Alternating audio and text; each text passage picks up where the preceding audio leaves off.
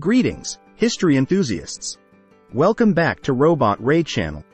Today, we embark on a fascinating exploration of the evolution of infantry tactics throughout history. Join us as we unveil the top 10 revolutionary advancements that have reshaped the way battles are fought. Let's dive into the captivating world of warfare tactics. Tactic number 10, the Phalanx Formation. The phalanx formation, a hallmark of ancient Greek warfare, represented a significant evolution in infantry tactics during antiquity. Developed in the 7th century BCE, the phalanx was a tightly packed formation of heavily armored infantry known as hoplites. These soldiers formed a shield wall by overlapping their large round shields, creating a nearly impenetrable barrier. Armed with spears called sarissas and short swords, the hoplites moved in unison, presenting a formidable front to their enemies. The success of the phalanx relied on discipline, coordination, and the strength of the collective unit. This formation allowed for both offensive and defensive strategies, with the soldiers working together to advance or hold their ground. The effectiveness of the phalanx was demonstrated in battles like the Battle of Marathon and the Peloponnesian War, showcasing its enduring influence on ancient Greek warfare. The concept of a disciplined, heavily armored infantry formation has left a lasting legacy, influencing the evolution of military tactics for centuries to come. Tactic number 9. The Roman Legion. The Roman Legion, a key component of the Roman military machine, marked a significant evolution in infantry tactics during the Roman Republic and Empire.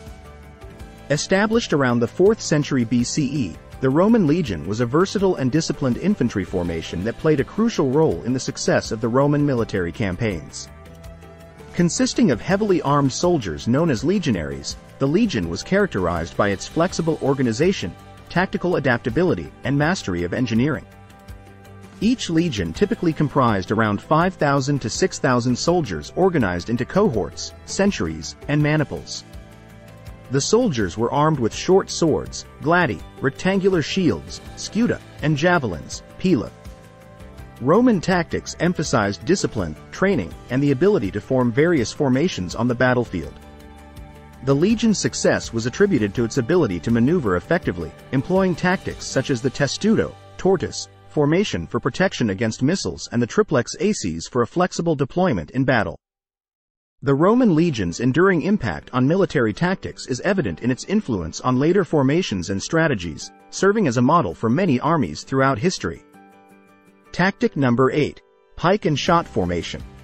The pike and shot formation emerged during the Renaissance and represented a significant evolution in infantry tactics, combining the strengths of pikemen and musketeers.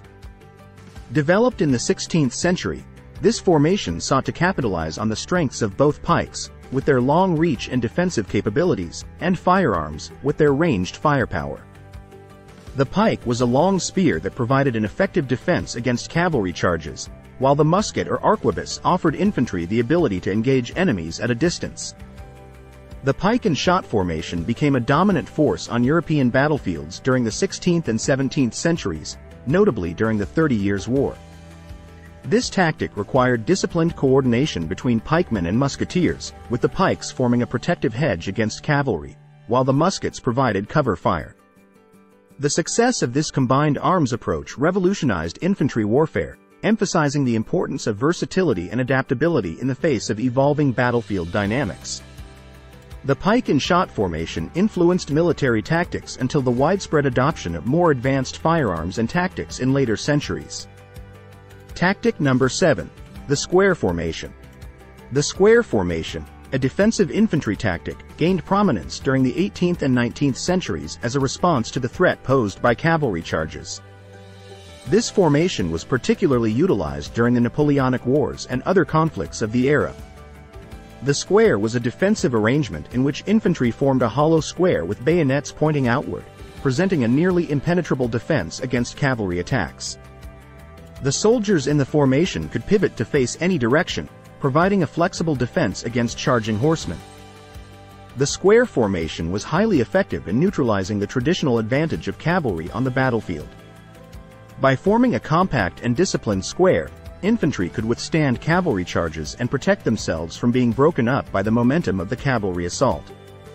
While vulnerable to artillery and infantry attacks, The square formation exemplified the importance of adapting infantry tactics to counter specific threats on the battlefield, showcasing the ongoing evolution of military strategy and the dynamic relationship between different branches of the armed forces. Tactic number 6. Trench Warfare.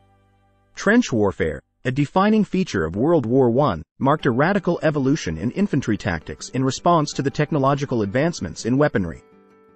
The trench system was characterized by a network of deep, fortified ditches stretching for miles across the Western Front. Soldiers on both sides took shelter in these trenches, seeking protection from the devastating firepower of machine guns, artillery, and new chemical weapons. The trenches became a grueling and static battlefield where infantry faced harsh conditions, including mud, disease, and constant threat of enemy attacks. Trench warfare required soldiers to adapt to a new style of combat, characterized by defensive strategies and the use of elaborate trench networks. Soldiers lived in close proximity to the front lines, engaging in periodic attacks and counterattacks. The introduction of barbed wire, machine guns, and artillery made traditional frontal assaults perilous, leading to a prolonged and often brutal stalemate. The development of new tactics such as trench raids and the use of tunnels underscored the continuous evolution of infantry strategies in response to the challenges posed by the modern battlefield. Tactic number 5. Blitzkrieg Tactics Blitzkrieg, meaning lightning war in German, represented a revolutionary evolution in infantry tactics during World War II. Developed and employed by the German military, particularly in the early stages of the conflict, Blitzkrieg tactics emphasized rapid and coordinated movements of infantry, armor, and air support to create a highly mobile and overwhelming force. The strategy aimed to bypass enemy strongholds, encircle opposing forces, and exploit weaknesses in the enemy's defenses, leading to swift victories. Blitzkrieg tactics were characterized by the effective integration of tanks, infantry, and air support, allowing German forces to achieve unprecedented success in the early campaigns of the war. The invasion of Poland in 1939 and the subsequent campaigns in France and the Low Countries showcased the speed and decisiveness of Blitzkrieg. The tactics involved the innovative use of panzer divisions, close air support, and radio communication to maintain fluidity on the battlefield. The success of blitzkrieg tactics had a profound impact on military strategy, influencing the development of mechanized warfare and prompting other nations to reassess and adapt their infantry tactics in the face of this dynamic and highly effective approach. Tactic number 4. Guerrilla Warfare. Guerrilla warfare represents a distinctive evolution in infantry tactics, characterized by unconventional and irregular methods used by small, mobile units to harass and wear down a larger, more conventional military force. This form of warfare has been employed throughout history by various resistance movements, insurgencies, and revolutionary forces. Guerrilla tactics often involve hit-and-run attacks, ambushes, and the use of the local terrain to gain a strategic advantage. The ability to blend into the civilian population, coupled with a focus on flexibility and adaptability, makes guerrilla warfare a formidable challenge for conventional armies. Notable examples of successful guerrilla warfare include the tactics employed by the Viet Cong during the Vietnam War and the Afghan Mujahideen against the Soviet Union in the 1980s. Guerrilla warfare often aims to erode the morale and resources of a larger, more technologically advanced opponent over time. The success of guerrilla tactics underscores the importance of asymmetrical warfare, where innovation, local knowledge, and a deep understanding of the environment play critical roles in countering conventional military superiority. Tactic number 3. Fire and Movement. Fire and movement, a tactical concept widely employed in modern infantry warfare, represents a significant evolution in tactics that emerged during the 20th century. This approach involves a coordinated effort between soldiers to provide covering fire while others advance, enhancing the mobility and effectiveness of infantry units. It relies on the combination of suppressive fire to deter enemy action and the movement of troops to secure ground or close in on the adversary. The goal is to maintain continuous pressure on the enemy, disrupting their ability to respond effectively.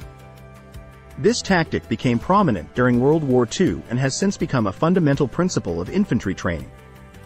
Fire and movement emphasizes teamwork, communication, and the ability to adapt to dynamic battlefield conditions. It allows infantry units to overcome obstacles, such as open terrain or fortified positions, by using a combination of firepower and maneuverability. The success of fire and movement lies in its ability to synchronize the actions of individual soldiers within a unit, creating a cohesive and efficient force capable of responding swiftly to the challenges of modern warfare. Tactic number 2. Urban Warfare. Urban warfare, the engagement of military forces in built-up areas, represents a distinctive evolution in infantry tactics shaped by the challenges posed by densely populated environments. With the increasing urbanization of the modern world, military forces have been compelled to adapt their tactics to navigate the complexities of cityscapes. Urban warfare often involves close-quarters combat, ambushes, and the need for precision and restraint to minimize civilian casualties. Tactics include room clearing, street-to-street fighting, and the use of specialized units trained for the unique challenges posed by urban environments. The shift towards urban warfare gained prominence in the latter half of the 20th century, with conflicts such as the Battle of Stalingrad during World War II and the street fighting in Hue City during the Vietnam War serving as notable examples. More recent examples include the battles in Fallujah during the Iraq War and the urban conflict in Aleppo during the Syrian civil war. Infantry tactics for urban warfare emphasize the importance of maintaining control over key structures, understanding the intricacies of the terrain, and employing a combination of infantry, armored vehicles, and air support to secure objectives while minimizing the impact on civilian populations. Tactic number 1. Modern Combined Arms Tactics. Modern combined arms tactics represent a comprehensive evolution in infantry tactics that emerged in the late 20th and early 21st centuries. This approach integrates various military assets, including infantry, armor, artillery, and air support, to create a versatile and synergistic force capable of addressing a wide range of battlefield challenges. The concept of combined arms emphasizes the collaboration and coordination between different branches of the military to achieve strategic and tactical objectives. One prominent example of modern combined arms tactics is the integration of infantry with advanced technology and communication systems. Soldiers equipped with state-of-the-art gear and communication devices can collaborate effectively with armored units, artillery, and air support, allowing for swift and decisive action on the battlefield. The use of precision-guided munitions, drones, and advanced surveillance technologies further enhances the effectiveness of modern combined arms tactics. This evolution reflects the ongoing efforts to optimize military capabilities by leveraging the strengths of various components within a unified and integrated approach, demonstrating the adaptability and innovation inherent in contemporary infantry tactics. And that concludes our countdown of the top 10 evolution of infantry tactics throughout history. We hope this journey has provided you with a deeper understanding of how warfare strategies have evolved over time. Don't forget to like, subscribe, and hit the notification bell to stay updated on our upcoming videos. Thank you for joining us at Robot Ray Channel, where history comes alive.